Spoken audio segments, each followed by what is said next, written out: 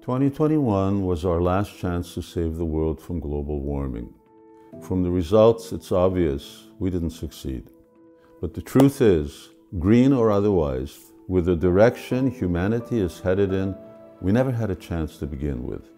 Neither the COP26 agreement nor the earlier Paris or Kyoto treaties will save our future. They're not worth the paper they're written on.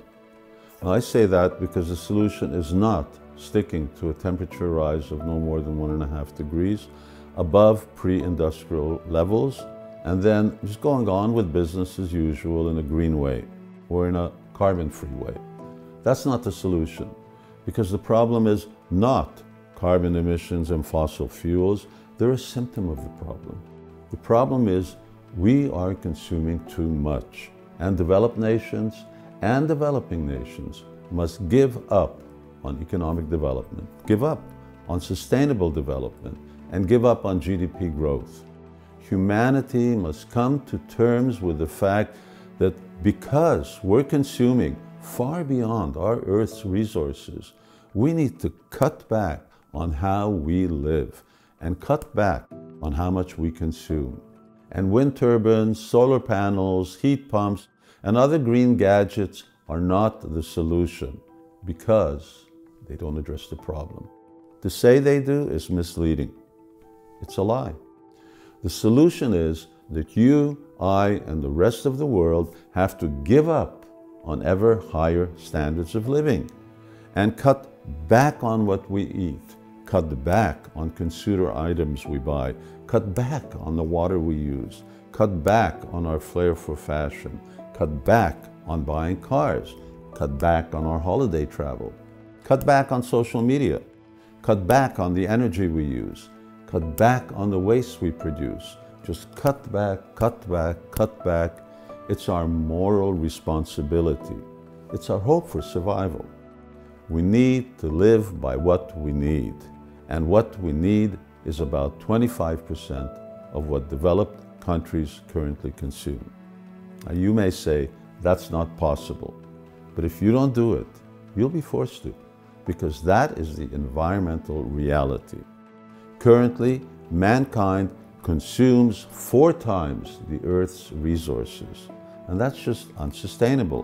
Whether you run your car on petrol, electricity, or hydrogen, our one world was created to provide us with the resources we need to live. And what we need is 25% of what we're taking. Up until the Industrial Revolution, humans lived by what they had. Then using the influence of science and education, some buffoons came up with the idea that we can consume more than what the world can supply, and that's how we're going to become happy. Friends, that was a bad idea.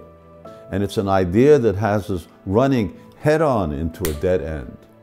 To solve that problem of global warming, civilization must first admit we got it all wrong.